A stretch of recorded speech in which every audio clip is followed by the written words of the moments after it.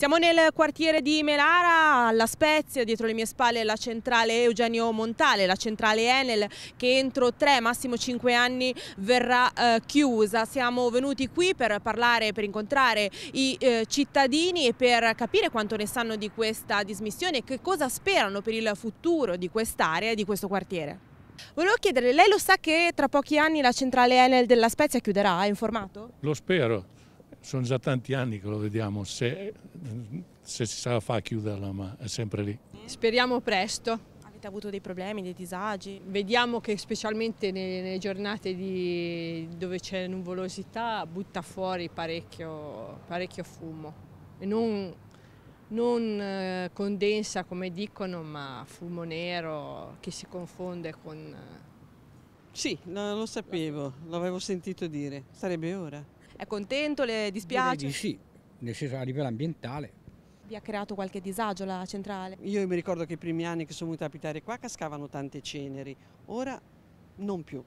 Mio nonno è morto di tumore e so che è un po' di gente anche qua intorno, infatti c'era un po' l'idea di, di, fare un po' un'indagine e capire quanti sono morti di tumore. Mi dispiace per chi ovviamente ci lavora, però dal punto di vista ambientale crea dei disagi. So che qualcuno si lamenta, problemi saranno i posti di lavoro.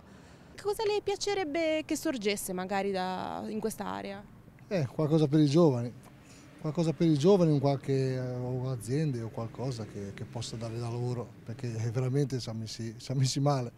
E qualcosa che non fosse così inquinante, insomma, qualsiasi cosa. Spero qualche cosa di diverso, delle energie alternative che sicuramente farebbero meglio. Ah, io ho sentito parlare di un campo sportivo, non lo so, perlomeno quello ho sentito parlare. Mi piacerebbe? Oh, sempre meglio che la centrale, eh, no? Vorrei che sorgesse qualche posto per i nostri ragazzi, però non lo so, speriamo. L'industria delle energie pulite potrebbe essere una soluzione essendo che è area industriale quindi... Beh, energie pulite mi sembra la soluzione migliore. Parlavano di un parco giochi ma non so se la notizia è vera, potrebbe essere una soluzione, sarebbe carino.